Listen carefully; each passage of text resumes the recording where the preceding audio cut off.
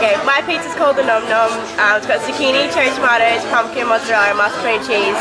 Um, we chose this because we eat it like often but don't eat enough vegetables.